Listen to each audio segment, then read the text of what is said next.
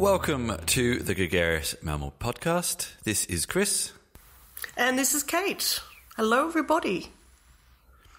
Welcome. Uh, it's been a little while since our last Links show. Uh, there's been a couple of interviews. We've both been kind of busy. Yeah. It's no excuse, I know. Well, it's the usual excuse. I think the word busy needs to be replaced. With what? it doesn't really mean, I don't know, it doesn't really mean anything anymore. We've been working. Everyone says they're busy. I don't know. I like to say occupied. That sounds like a sure bathroom. better. the bathroom is occupied on plane, you know? yeah. Doesn't quite They've- work. They've been full. Yeah, that doesn't work either. I don't know. Maybe, maybe listeners, you could give us a new word for busy because I think the power of the word busy has long since expired. Yeah. unfortunately, like having a degree. Oh, yeah. Anyway, let's let's move on. We've got a bit to speak about uh, as we've got a lot to catch up with. We do. We have a, a few sort of chunks of topics. So our first little section on the show is on AI, artificial intelligence. We have a little chunk of topics on this theme, and I do believe the first one is yours, Cate. Something to do with AI and the law. Absolutely. Um, this article is by Stefan Costarellis from Techly, uh, an Australian publication, and it deals with AI um, being used by uh, basically, I guess, a little competition between lawyers and AI um, by LawGeex. Um, it was like a research study where they got 20 lawyers that were very experienced against the AI program that was designed to solve legal problems. And um, basically to see who could spot errors in contracts with the most speed and accuracy. And if you're thinking, God, that sounds appallingly bad, um, well, this is what lawyers were doing. Like, you know, do you remember Clueless? Anyone seen that, that movie Clueless from the um, 90s where they um, have to sit down with a highlighter and go and find someone's name or something like that through his whole document? That's the kind of stuff we're talking about. And basically, what happened was that human lawyers found 85% of the errors, AI found 80, sorry, AI found 94%. So whilst the um, the speed was comparative, um, actually no, it wasn't. It's it's okay. What what it says here is while the best human lawyer did manage to equal AI in terms of speed, overall it was an absolute washout. Which is which is a little a little confusing because the next sentence says it took the human an average of ninety two minutes to get through the task. The AI took twenty six seconds. And the lawyers drank 12 coffees, which I, 12 I like. copies, I yeah. pointed Which, out. you know, and look, um, I think this is a really interesting area because we're talking about this idea that we're going to be using uh, AI and using what have you. Could be chatbots, could be um, uh, greeting robots. It could be any type of um, data automation or um, analysis. Um, all these kind of tech tools as ways to, to make jobs easier, to change roles, and also to um, in effect change the skill set and, and also careers. You know, if your job was a, a fact checker, and I know that is a job in, in some law, law firms like the first year students and stuff, that's going to radically change if you've got these type of programs. I mean, you know, even just I remember for uh, my mum worked in a law firm for many years, so even just having anything digitalized was a big introduction. You know, these are, are radically changing some of these career sets. And, um, you know, I, I think sometimes we get focused on, uh, you know, ah, you know, the lawyer, the robots are going to take our jobs, but they're what they are. I mean, they're going to change our jobs. They're not going to take them. They're I think change th- them. there's there's an interesting thing here. I mean, firstly, actually, 85 to 94 percent is not Well, too no. bad. Um, but obviously, this is probably early days. I mean, actually, this is a very particular subset of law. Correct. And they basically said that AIs will replace humans in anything that is repetitive and involves lots of data. Correct. So this is about who could spot errors in a contract, which is something that humans are probably very bad at because we just switch off very quickly, whereas a computer is very good at Mm. this. This is not an AI fighting a legal case and No, trying to win over a at all. jury. I think that will involve lawyers, fortunately or unfortunately, depending on your perspective, for a while yet. I mean, this is a very specific area, and this is something that I think this is, again, as we've discussed so many times, where AI is going to be useful is supplementing the human. Yeah. So the AI helps the human go through and process all this data, and the lawyer the human focuses on the, the emotional stuff, the the stuff that it would be very hard for a machine to to process. Yeah, I mean, I actually wrote an article on this, um, which was published this week, on uh, how do we prepare for an era of human machine partnerships. Because that's how I do see it. I do see it as humans and machines being partners to complete jobs and tasks. I mean, digitization um, is already here. You know, everything from the self-service checkout to um, you know, um, it, it, uh, robots being used on the land to sow seeds or to check the um, sensors to check the water, the water um, quality or depth or what have you.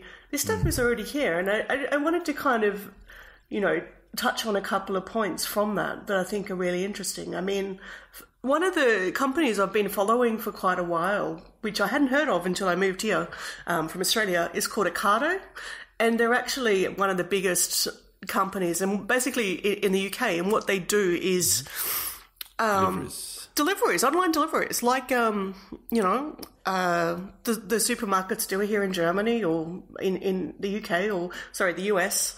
Um, but they firstly they have this really elaborate robotic system of to setting up their um, their warehouses, and they've been involved. Um, in this program called SecondHands for a couple of years, which I've, I've, I've been um, talking to them about before.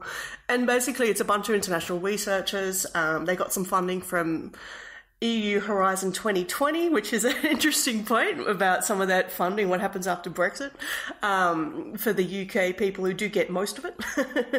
and basically, they've been working on this project um, of uh, developing robot assistants that are trained to understand maintenance tasks so they can proactively um, or, be, or with some prompting um, respond um, to a you know a routine request or or um, be involved in, in preventive maintenance. And um, they've released their prototype recently um, in January, so it's quite cool. But some of the other points I think you alluded to as well. I mean, firstly, this idea that we're going to really come about with these soft skills, the idea of cultivating and valuing soft skills in workplaces, things that people um, can do that a robot or a bot or a, an AI program or whatever you want to call it will never be able to do the same way as us. They will be able to do some of it. We could we could look at things like creativity, emotional intelligence, interpersonal skills. So actually, Cate, this leads very nicely into our next article, which apparently I suggested, or I don't remember reading this, so we'll see how we go here. That's okay. Um, this is on the New York Times, how to make AI that's good for people. Um, it actually, firstly, interestingly opens in the second paragraph with when I was a graduate student in computer science in the early 2000s, computers were barely able to detect sharp edges in photographs.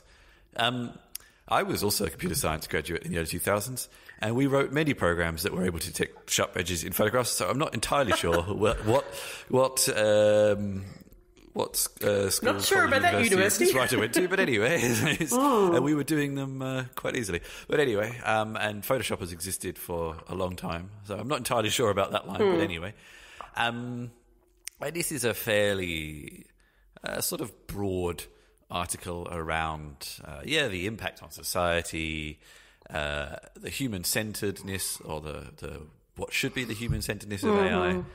Um, uh, reflecting, actually, this ties very nicely to an interview that was on uh, the feed last week, I think, um, from uh, Emoshape about having AIs that actually have some breadth of emotion in them to uh, to make us more comfortable with them. Um, and what's the other? There's also yeah, more human sensitivities. I guess it's it's just it's just the the uh, the broad concept of putting a bit more thought into the AIs. Um, AIs are made by humans at the moment. Yeah, that's it.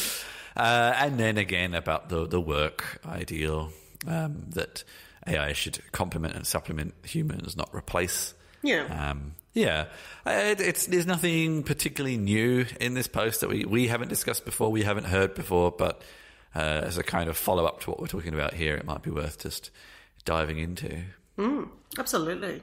I mean, yeah, it's it's a nice little overview of some of the issues and looking a, across a few different sectors. And the um, the author Fei-Fei Li is actually a professor of computer science at Stanford.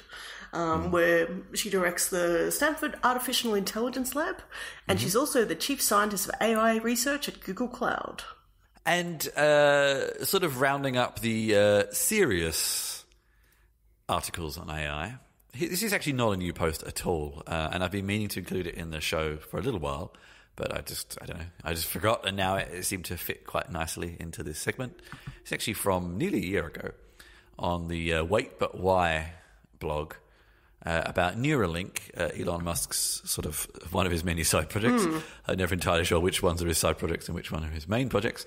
Um, about their sort of uh, brain control venture. Yeah. And this post is incredibly long, with a lot of illustrations and a lot of science going through from the basic to the advanced on how something like Neuralink might actually work. Um, and I will recommend yet again a book that I always love when it comes to this topic the book uh, Make It So, which is about sort of science fiction interfaces, and brain control is certainly one of those. But this is a, a, a very accessible and fascinating post on, um, yeah, on, on how to how th- how that actually could work in theory. I, I don't think you've read it, Cate. To be honest with you, I read it a while ago anyway. I But haven't read it. Um, I, I do know a bit about Neuralink. I've written about Hmm. them before, but I've got to say, like, I know I, I know radio is not a visual medium, but I would really a very encourage you to post, check yeah. this out for the images. It's got the most fabulous images. yeah, and I've been wanting to put more images back into my stuff, but images take a bit of time. Oh yeah, they've done a lot of work here. This is like a major kind of undertaking. It's got so many images. It's fantastic. No, so it's very long. yeah, It's, uh, it's not a short piece. no, Uh, but it has got a lot of images. So. It's one for a, a rainy day, maybe with a big cup of coffee to sit down and, and deep dive into Neuralink um, and the you know the brain machine interface and all that kind of stuff. And I think um, I'll be very interested to see what actually happens. I mean, I've probably been following Kernel a lot closer because they seem to have a, a, a little bit more. Um, uh, exposure, perhaps, in actually talking about what they're doing. Um, and they're basically working particularly on um, Alzheimer's and those kind of conditions. So there- there's slightly a medical focus, um, yeah. Which is really interesting. I'll, I'll, I've got a link somewhere. Um, I have written about it, so I'll, I'll pop it in the show notes so people can have a quick look. I think I last time I sort of played with this kind of stuff was um, when CES was on and Nissan released the. Um, uh, the prototype headset, which was basically a, a brain computer interface for driving, and the idea was that the um, the, the self driving car could anticipate the person um, before they they acted or something like that. I can't quite remember exactly, but um, yeah, it's worth it's definitely worth checking some of this stuff out. It's very interesting if you like this kind of neurology and things like that, which I do. All right. I mean, Neuralink isn't actually completely AI. I sort of sandwiched that one in there, but uh, it's maybe got a good maybe maybe that was a bit of a, an inappropriate uh, filling in a, an AI sandwich. But now Segway's to always add, good. To to add the um, what, to add the tangy tomato sauce to the top of the sandwich, uh, here's a, a slightly lighter article to end our AI segment on. And this is called, I, I don't actually know what the first few words mean, but anyway, Oh Hi, Spectral Slug, AI makes new D&D monsters. Um, I mean, I think I think this is one of those areas where if I wanted to get fussy, I could say this isn't really an AI, but uh, it's just a computer generative algorithm. But um, anyway, research scientist Janelle Shane trained a neural network to create D&D monsters. Behold, Hat Fright, Giant Faith Warp, Windless Wall, and oh god, Maragana. Oi, hello, hang on, let's try this again. Maraganrella Wraith. Imagine saying that after a- few beers. Being a keen D and D player, where there are char- there are monsters that are basically giant rabbits and have uh, equally bizarre names generated by humans, uh, this is not particularly uh, it's not particularly not particularly uh, surprising, really. I mean, this is actually I think this is doing a fairly good job. Um, and yeah, it's just it's just a, a training data set of 2,000 creatures from the second edition Dungeons and Dragons. That's actually quite old, and when things were a little crazier. So, so, um, I don't think it actually I don't know if it gave them any statistics or anything like that. That's the thing I'd be interested in. Like, if it did generate names, or did it actually generate creatures you could use in a in a game? I'm not sure, but that's a bit of bit of fun. Do you have anything to say on this game?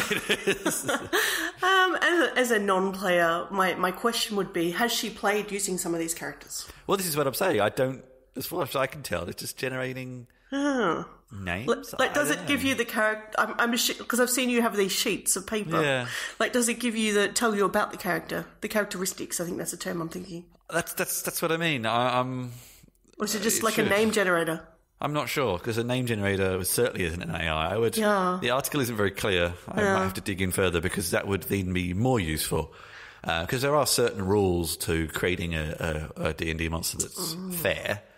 Um, So maybe sure. you need to contact her on Twitter or something and see if she wants to explain it on the show next time. not a bad something. idea. Not a bad idea. And just Yeah. remember, if you are facing a Kerpal Lard Dragon, then you better get out your gland growth and shield of farts.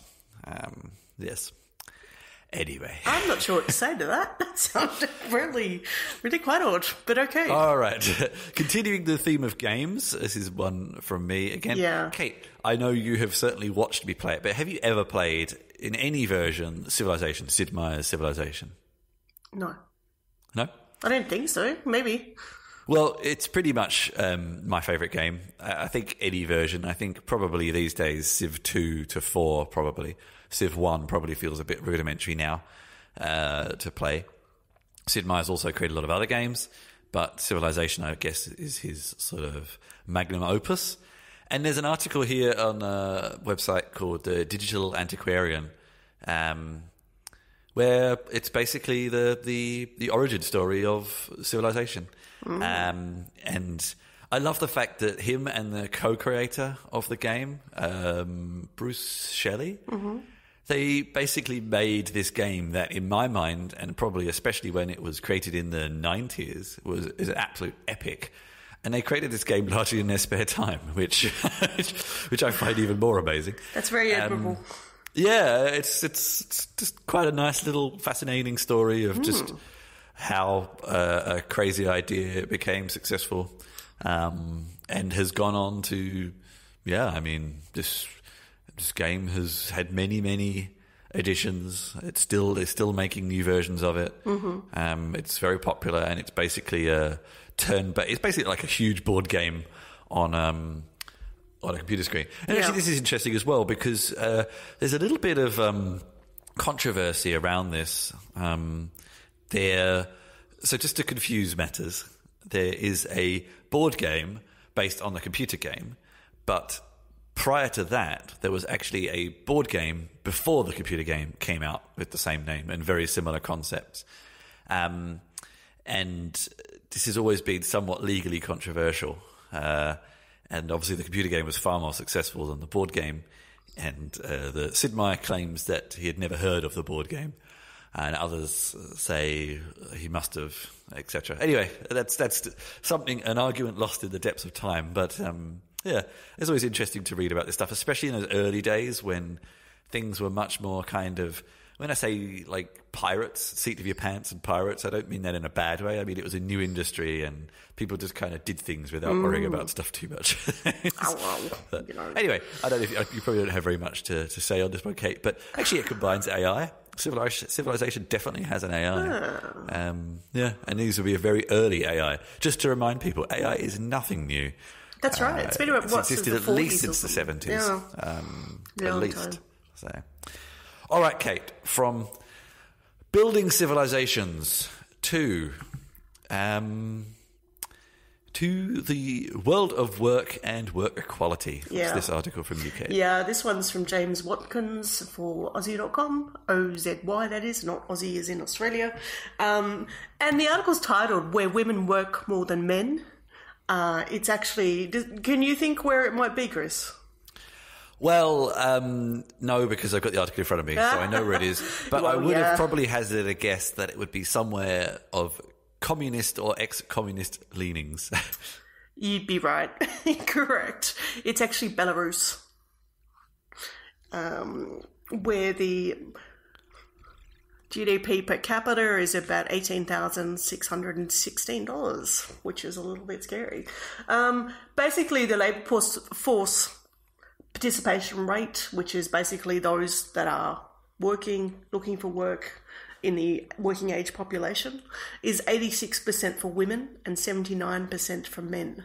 So that's based on a, a study that was done. Um, and, and what it, I guess what it breaks down to is for every 100 men working, there's 108 women working. Um, and this is different to literally every other country where men are more economically active than, than women. Um, mm.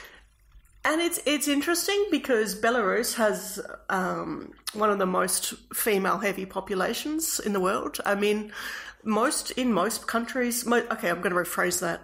In most Western countries, so if we think of like UK, Australia, America, Canada, etc., um, the gender ratio per capita is pretty, pretty, pretty, pretty similar. You know, but there it's actually um, 54% women to men. You might think it's just that the um, there's more women than men in Belarus, which is, is true. It's actually that women are actually working longer than men.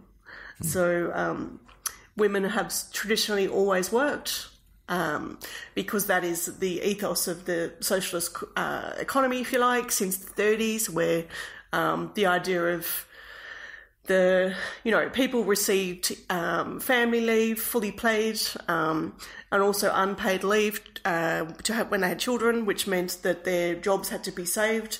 And there's also government sponsored childcare, so the incentives to work are a lot higher the, the, the you know the incentives to, to economically participate in your country.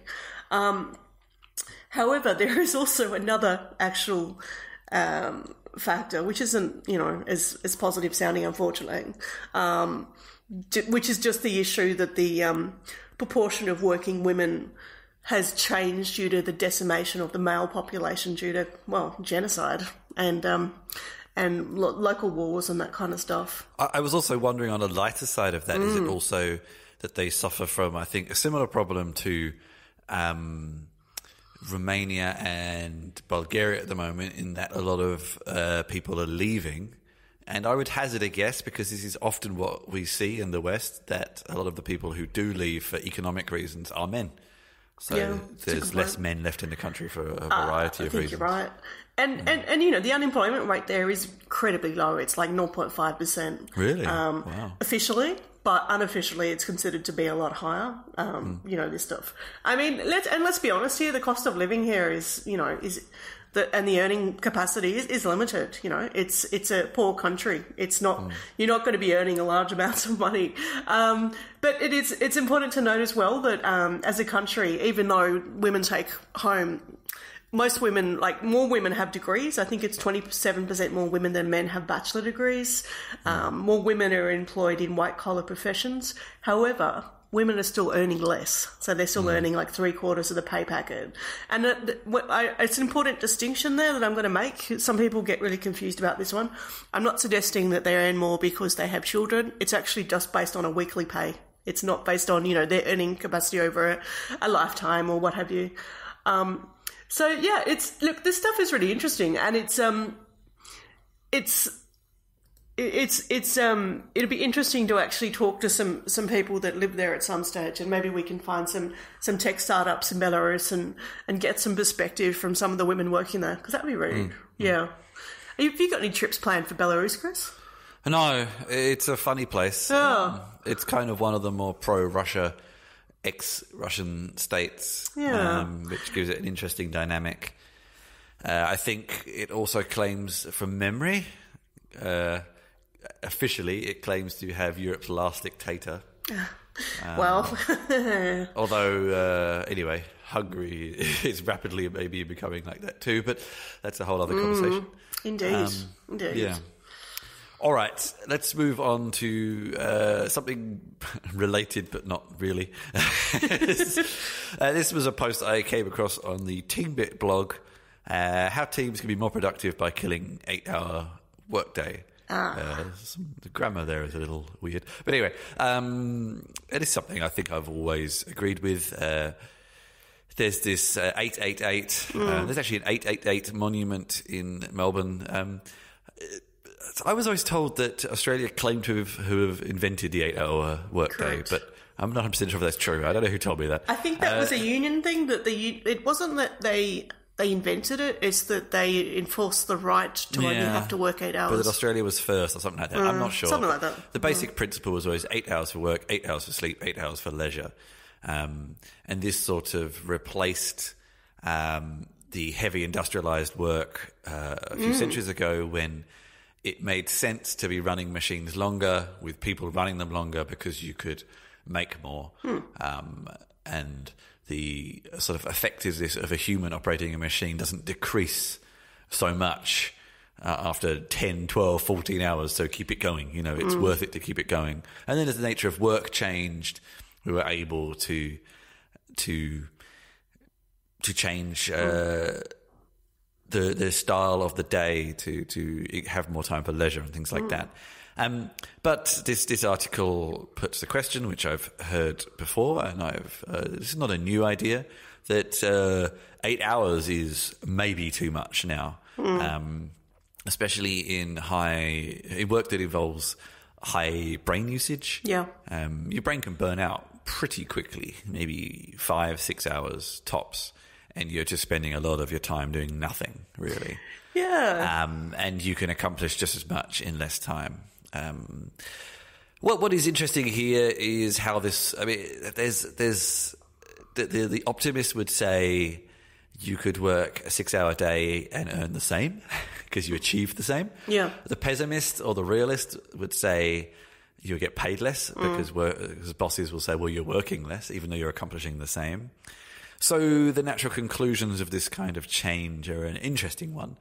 As a freelancer, I actually I I, I keep tabs on all the time I put in on a day, and I actually average billing time about six hours a day.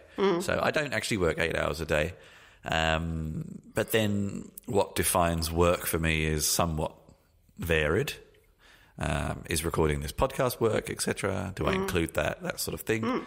Um, but I'm actually a big believer in this. I, I think I'm a half the reason I work for myself is because I like I have I know my uh, times when I work best, and they don't always match uh, a nine to five or Yeah, ten to likewise. six office environment.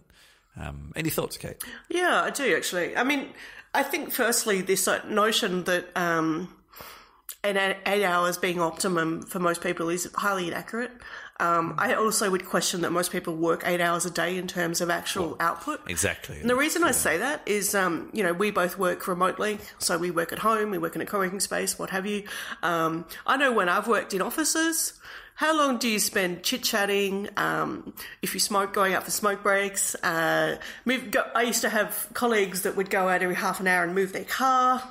Um, uh, you know, just doing pointless meetings, having a having morning tea, birthdays, all this stuff that you don't do if you work at home.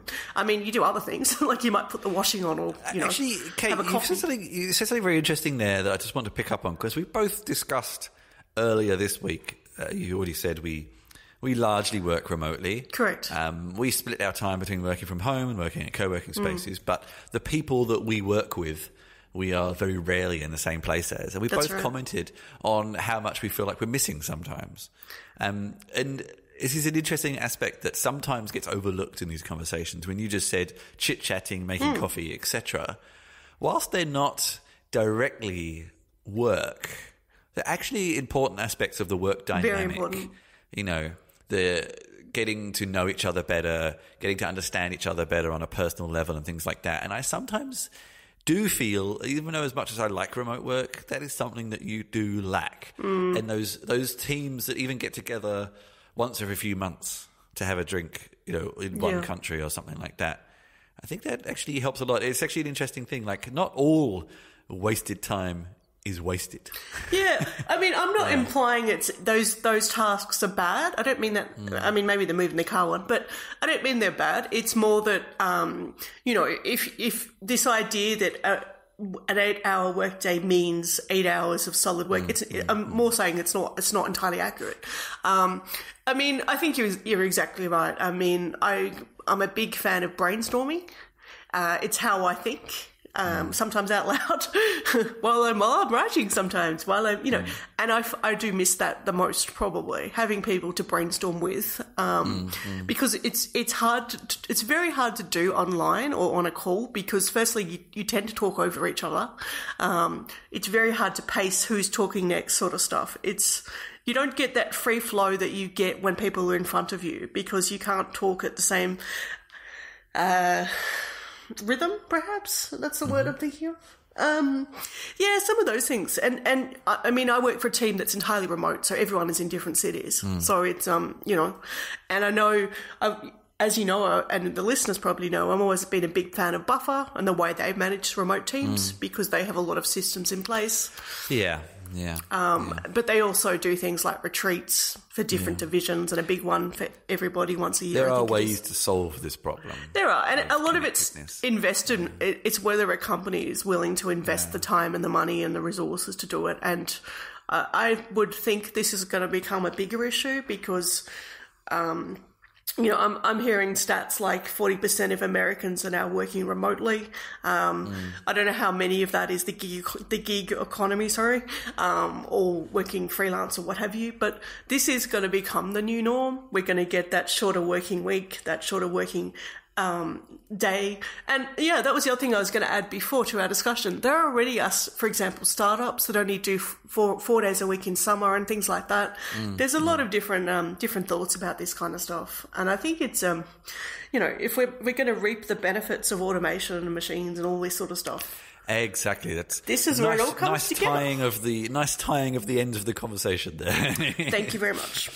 All right, let's uh, let's wrap up this kind of I don't know what we call this the changing of the way we are section. yeah. With an article I found quite fascinating as a writer, as a ling, as a well, I'm not, I'm not a linguist, but I uh, I'm a fan of A language. words enthusiast. With an article on Mashable, millennials have created a form of written English that's as expressive as spoken English. And this is quite a fascinating article about um, how millennials, and I that's such a vague term. Apparently, I'm a millennial, but uh, didn't used to be. And I would probably never use half the things in this post.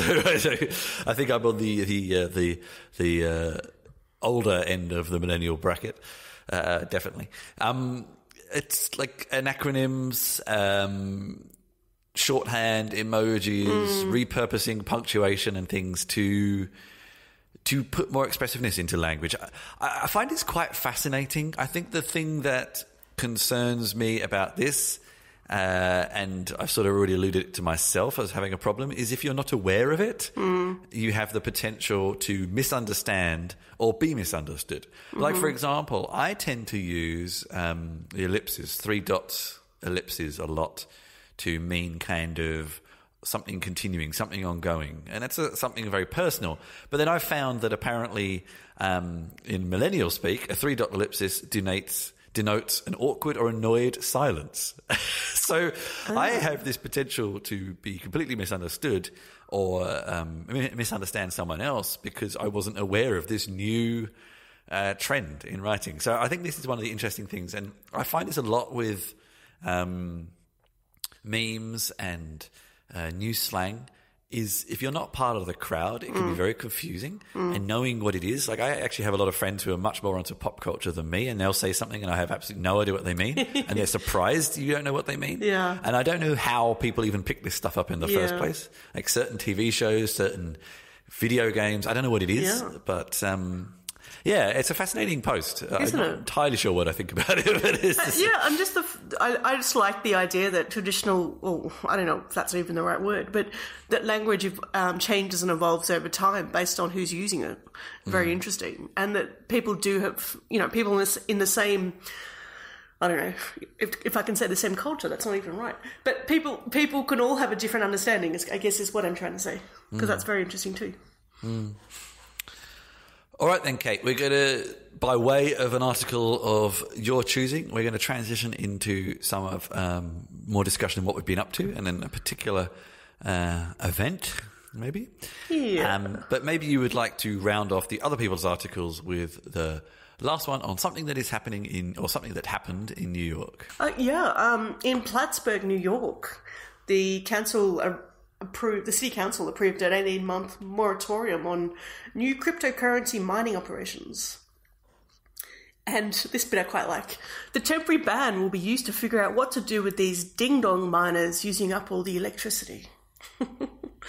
um, so what they're what they're talking about is basically that you know the amount of energy that's being used because most cryptocurrencies require a mining process in which servers are used to guess the solution to a complex equation, um, and basically the, the, computer that gets the answer gets gets coin or what have you. And to do all this is this massive process of of mining mining rigs, I guess. And I, am sure people have seen some of those videos that first came out um, when we sort of started hearing about um, crypto, where um, I don't know. I saw one in China, and it was like these data mining farms where it was literally like rooms and rooms of um, of hardware, um, floor to ceiling hardware, um, massive warehouses, and, and a guy that would just sleep there, and he'd walk around and make sure all the machines were working. And so what's been happening is miners are going to cities with cheap power, and mm and mining. you know, and I've, I've even heard of stories where people are doing it in Airbnbs and things like that. And basically, what, what's been happening is that the city gets 104 megawatt of hours of electricity a month. And if it exceeds its, um, its, its amount, it has to pay a, a premium on the open market. So this is the problem. And in January, they used too much.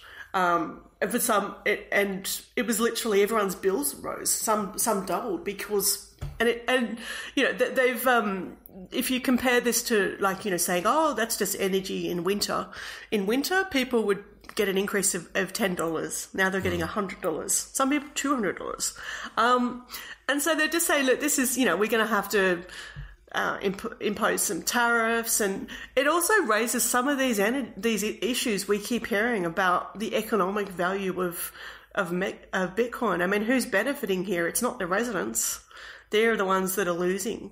Um, but then you've got other people in the town that are kind of saying, well, you know, we, we could get some money out of this whole crypto thing and is there a benefit to us? So this stuff is, it's, it's a complex issue. And I actually, um, interviewed a company a few weeks back. I haven't had time to, um, to do anything with it yet. They're building a, a mining center, if you like, in, um, Iceland because the power there is mm. so cheap. And you know they've got About the only thing that is, but yeah, yeah, they've got the um, they've got the building, they've got it set up, they've done the research. You know, it's all kind of systems go, and they're I think a South African company. So um, yeah, yeah, this this this is not a problem that's going to go away. you know, no, well, uh, uh, yeah. Anyway. I, I think this is a nice transition to our, our next topic. Um, just in that uh, blockchain based technologies all operate in different ways. Mm. Um, I think this is specifically Bitcoin mining, which has become very resource intensive. I actually, I actually sold all my Bitcoin mm. a couple of months ago because of the environmental impact of them. I couldn't, I don't know, I couldn't really, I didn't couldn't really feel like, it? yeah, it mm. felt, it felt like um, something I couldn't get behind anymore. So Let's move on to what we've been up to the past few weeks. Uh, we'll start off uh, with a segue from this into the what was it called? The crypto. What was the conference called now? uh, um, the, I think, I think it was just crypto conference. It was crypto called conference. the International Crypto. No, the C three Crypto Conference. Um, this. Hmm. I've written one kind of follow up to this, uh, which just got published on DZone today, actually, on uh, the tokenization of everything, um, which I would urge you to read. Um, I think uh, maybe we'll talk about it in more detail next show, possibly. But this kind of aspect that so many companies now are trying to put tokens into everything. Yeah. And some of them make sense, some of them don't make sense. Uh, but this article, I kind of dive into a bit of if that was the case, if we tokenized everything, mm. what would that mean mm. for society and money? Uh, and it was off the back of a comment from someone I spoke to at this conference who said we could create a kind of universal basic income by tokenizing everything. And I kind of thought about it and thought about this kind of potential future and, and what it could mean. Um, mm. But the conference itself, I mean, I think we are going to work on a shared write up of it at some point soon. But it was a weird event, wasn't it? It was Cate? a very odd event. yeah. Do you want to say anything, or um, uh, look, I'll, I'll just very briefly say make a few points. I mean, I don't know. You, firstly, you had this demarcation of between the paid and the unpaid, which I never feel very comfortable with. I think, you know, What do you mean? conferences should be accessible, so that they had a section that people could go for, to go to for free, and one that No, was only. that wasn't quite right. I mean, they paid different amounts. Uh, I thought it was free. Okay, yeah. So they had one section with free food and one section you had to buy it, and it was the same food. They, things Yeah, like that, I just don't like. I think it's um, It's not know, uncommon, but usually the building is bigger and you don't notice it Yeah. much. I, I don't know. I, I, and I know that we have the privilege of, you know, being journos, we get to go for free ourselves. But you know, I like, I'd like to think other people could get that same, same right where, where, you know, if they had some tickets for, you know, low income or what have you, things like that. I think it's important. But um, okay, so. Firstly, the, the the pros of the conference. There were some really good speakers, um, and we'll go into those in the article in more detail. Walk walk through some of those and what they were talking about, and, and so on. Um, there was quite a few women at the conference, which I think is great um, because people say where are all the women? Well, they're they're, they're actually there. Trust me. Um, there was a there was a few stalls I thought doing some interesting work. Um, particularly in the health field, um, Yep. where they were looking at developing countries and things like that. All things I'm a big fan of. I like the product behind the coin. I'm not so interested in the coins and the ICOs. I'm more into the blockchain side of things. Yeah, exactly. Yeah. Um, and I think this this was one thing that we both discussed previously. There's been a real kind of separation between that. That we're starting to see between the ICO hype and the blockchain itself, or the blockchain technologies, because there's a few. um, yeah, and look, the, the downsides was that for a industry, if I could call it that, that's trying to be disruptive, is trying to massively change the way we manage pretty much every aspect of our society, from the law to um, to jobs to how we transact money, blah blah blah. Um, their their some of their gender gender um, gender values are pretty fucked. Honestly, I I think it depends on the country of origin. Okay, let me let me yeah. explain that and why I say that. Firstly, um, I, I always get very annoyed at a conference that has a um, a panel of women talking about being women. I like women talking about what they're interested in much Yeah. more. But and I would say that for I think any equity group, if I can use that term, would have the same problem. You know. People of colour don't want to just talk about that, for example, Yeah. or you know, blah blah blah. So you had, to, but what happened was, you know, when I mentioned the two rooms, like the paid room and the unpaid room, or the lesser paid, whatever you call it, um, that was actually the, the the cheaper room was the one with the stalls. So people had paid these massive amounts for these stalls, so they could present their wares and presumably get some customers or some funding or what have you, collaborations. Um, and there was a little stage for pitching. So, but how, unfortunately, there'd been some problematic stall placement. So, while people were pitching, right next door was a VR porn stall. And um, so you Which is could, also tokenized, of course. which yes, it was. So you had um, a video sh- playing on a screen, which was right next to the speakers' heads. Unfortunately, showing uh, VR porn, and yes, you could see bits of bodies. In case you're wondering, you could see Generally boobs, doing porn, yes, yes. boobs and bums and all that stuff. Um, there was also a little um, booth where men could go and try out the VR porn. So you had a line of men waiting to go and play VR porn while people were talking. Um, and and just the juxtaposition of when you've got, for example, a woman up talking about something to do with um, health or you know a product for young people, and the woman had brought her daughters along. Then you've got all these men going to do VR porn. Like seriously, I mean, it was embarrassing, I've got to say. And look, I'm, I, I'm, I get there's VR porn. I don't have a problem with it existing, but I think time and place and context is very important. How, and I think that um, as an industry who's trying to really disrupt pretty much everything, to, it, it just seemed incredibly disrespectful to not only the women, but all the speakers, really. I think it was tacky. And, and then you had this um, problem, which uh, people who know the show and know me know that I've spoken about, written about it quite a bit the booth babes.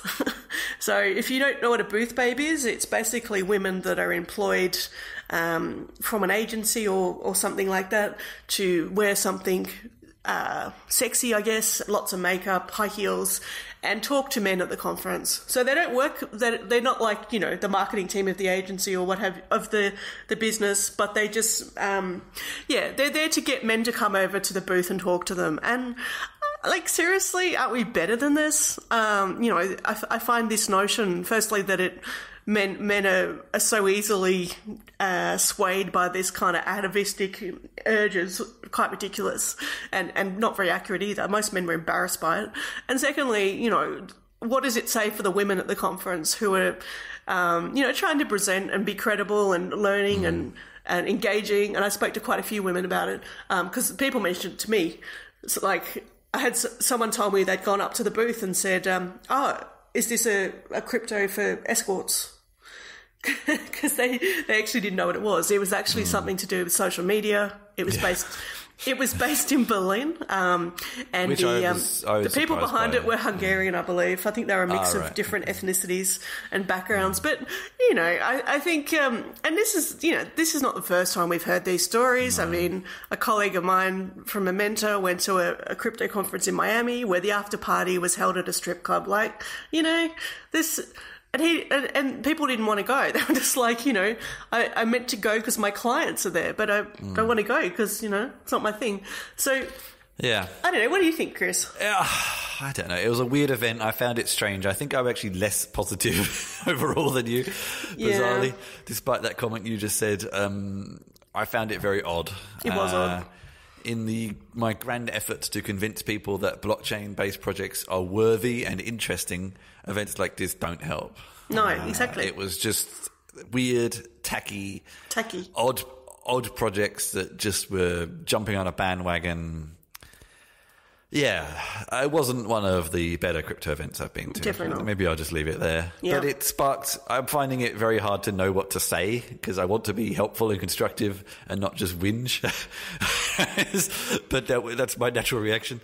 Um, yeah, and I think the best output I, I've had of it is this article I wrote on the tokenizing of everything. And I look forward to reading it. a lot of it's from seeing a lot of weird ideas for tokenizing everything, but you know, it takes multiple facets to sort of to to make a community and make an economy, I guess. So something for everybody. But all right, let's um let's move on, Cate. Uh, what else have you been writing about over the past couple of weeks? Any any particular articles you want to highlight?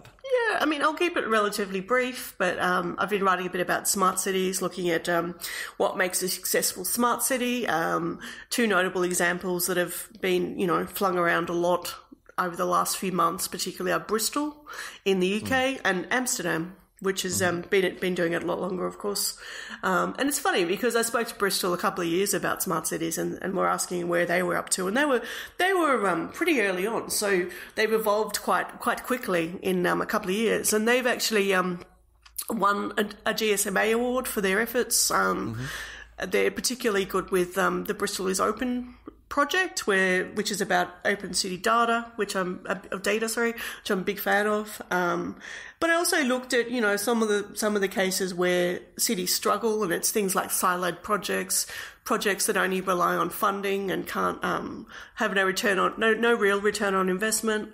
Uh, looking at things like um, you know, how, how do you decide who who to engage with so that the ideas are actually by the local people rather than for the local people, so people get mm. to prioritize things, all these things, and you know, the, the whole idea of a smart city is one that makes people's lives better and easier, but also it should be fairly seamless. Um, so that it's you know in, in an ideal world we wouldn't notice this stuff as much. It just it just integrates really nicely. Um, Just one other topic I'll mention, so I'm not talking too much, and I'll we'll have all the links in the show notes. Is data monetization because it's something I've been having a lot of interest in for a while, um, and I actually interviewed a company this week about it um, for consumers or you know people who use social media or what have you. Or um, but in this, these I wrote a couple of articles on data monetization, looking specifically at um, the use of it in um, in machines and in um, things like cars. Uh, uh, and, and some of the companies involved are really interesting. I mean, it's not all blockchain, like a lot of people go, oh, blockchain, blockchain. But people like, for example, Samsung ARTIK released a smart IoT platform last year, which includes a, a monetization part where basically uh, people can share their IoT data amongst applications with researchers, um, creating new business models like hardware as a service, where you know and basically being able to have different tiers of monetization amongst factories and, and, and, and clients and customers and vendors, all this kind of stuff. Um, and then you've got the idea of, like, for example, the IOTA Foundation has been working with a, a whole slew of people, including Deutsche Telekom, Bosch, PwC, um, blah, blah, blah. And, and creating one of those, I guess, a marketplace or a platform, if you like, where people can buy and sell data. And from sensors, connected devices, this kind of stuff. Mm. And I guess if you're kind of thinking, well, why would you do all this, blah, you know, firstly, um, the idea of using the blockchain for this is, is around the idea of data authenticity. The reality is that um, data is the, is is the new oil. It is a big monetization kind of spinning thing. Um, it's happening already in a lot of industries, and so the issues of um, the authenticity of the data, so we know the data is from the machine and it's accurate. Secondly, the um, GDPR coming in, of course, people want to know that um, the rights of, of data, whether it's sold and third parties and all this kind of stuff. Um, and then I took a, a, a, more detailed look at kind of, well, what's happening from that? Like we've got this thing kind of burgeoning along. For example, in Israel, there's, um, I'm trying to say the name right because I do get it wrong. Otonomo. it's a connected car database where basically car data can be um, bought and sold. Um, you think about it, how many sensors are on a car these days. In the future, it's going to be, you know, up to 200 to 500 every part of the car. So that's all stuff that can be used in some capacity. And another really interesting example is um, a company in the US called Farmobile. And basically what they do, well, Farm, Farm Mobile, sorry. Farmers pay a yearly subscription and they have a little device that sits in the machines, um, a small in cab device, and records all the data from the farm. It could be things like um, uh, the variety of grains, the um, the growing cycles, the yield, all that kind of stuff. And twice a year, the data is certified and put in a data store where it can be sold. Um, by people like equip, like you might go, well, who wants that? Equipment manufacturers, agronomists, insurers, people like that, and then they get paid twice a year. So it's a pretty a pretty sweet system. It's the first one in um, in that industry, but then you've got this kind of thing which is coming even more big, which is the idea of machines selling data and creating products within each other, which becomes a little bit more complicated. And some of this is looking at things like um, the idea that um, devices that have any um, excess uh, storage capacity, for example, um, that can be used and um, and monetized. Um, then you've got things like um, SingularityNET. People would know from um, Hanson Robotics, who makes Sophie. They're partnering with Ocean Protocol, where they're looking at a, or they, they have created, I guess, a, a decentralized global market for AI services where paid parties, sorry, own their data and can sell it and things like that. So this this stuff is becoming kind of big business. Um, we know that we're going to pro- potentially see things like intelligence as, as a service where machines can learn from each other, work together in groups to create more money and trade amongst themselves. Like this stuff gets re- really kind of a little bit woo woo, but it's kind of interesting. Oh, okay. I, I, I think you had far more to say on that subject than you or I both expected. yeah, sorry. That, that's uh, actually I saw um, Ocean Protocol. So Trent, who has actually been on our uh, to to interview list for quite a oh, while. yeah, we should we should chase him up. Uh, speak a couple of weeks ago. Um, he, he he he tends to talk in very grandiose ways that he sometimes does. you have to sort of drill down into what that means. But the Ocean Protocol is an interesting idea, and yeah, it feeds into this whole world of users monetizing their data, or probably more realistically to begin with, as you said, um, businesses monetizing their data with other businesses. Uh, and this has become increasingly relevant with various events in the news of the past few weeks. Yeah. Um, how this exactly would work is a whole big discussion. I think it's quite a fascinating discussion, but um, yeah, and I interviewed some people at Mobile World Congress who also talked about this.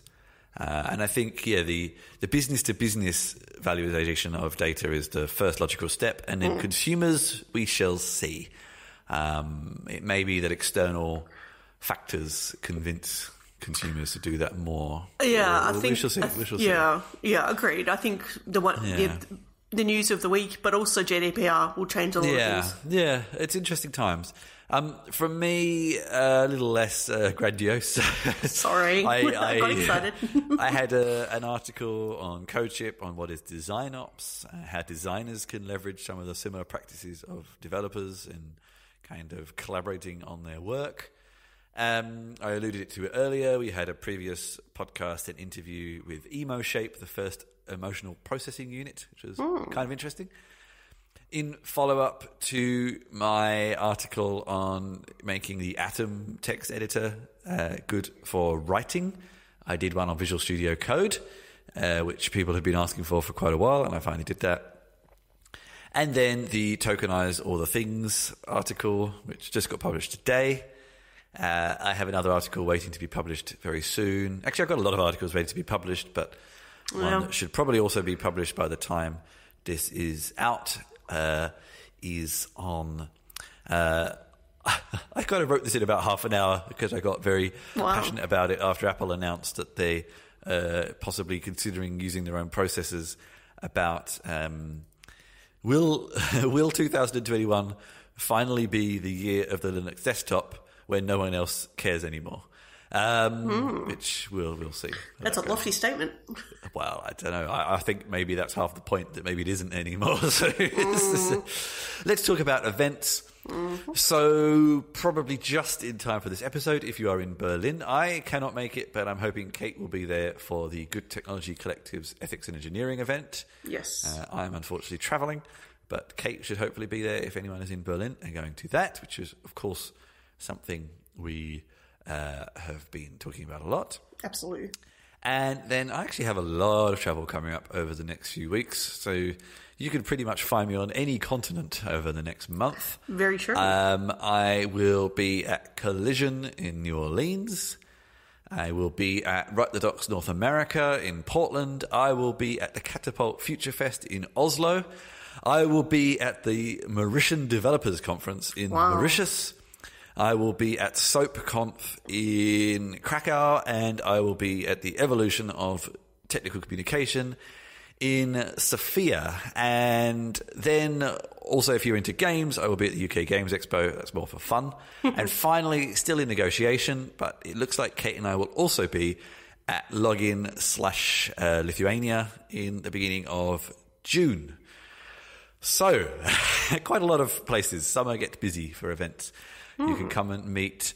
Oh, Cate will also be coming to Krakow, but not coming to SoapConf. So if you want to meet Cate, but you're not actually going to the conference uh, in Krakow, you, you just want to hang out and go for a beverage? Yeah, exactly. Give me And a Krakow boy. is a beautiful city, and in May it should be very nice. So, yeah, I think you'll be putting all those in the um, the little calendar we've got. they're, they're already in the calendar, apart from the Mauritian one Okay. and the Lithuanian one, because they're still in. Yeah. Um, So you can take a look there what we're what we're out and about and up to. So if you've enjoyed the show, you can find previous episodes at gregariousmammal.com slash podcast. We've just moved our hosting to Anchor FM, uh, which means you will also find our show in a few other places you couldn't find it before. If you've enjoyed it, please rate us, please share. It's a lot of work in each of these episodes, and we appreciate uh, anything you can help to spread the word. If you want to support in uh, other ways, you can give us a donation or buy some merchandise at gregariousmammal.com slash support. We are actually coming up to our 100th show uh, soon, in a couple of months, and we're planning something a little different for it. Um, we might get a few of our favourite interviewees back on the show. Yeah, absolutely. We might uh, we might plan to launch a few things around that time, overhaul the website, get a Patreon going, things like that. Um, if you want to continue the conversation, you can find us on Gregarious Mammal. No, you can, you can find us as Gregarious Mammal on Facebook. Uh, and you can also now find us on LinkedIn if either of those is your kind of network. Hmm. Cate, if the people want to get in touch with you, how can they get in touch with you? Yeah, you can find me on catelawrence.com, that's Cate with C, Lawrence with a W, or on the good old Twitter, which is at Cate underscore Lawrence.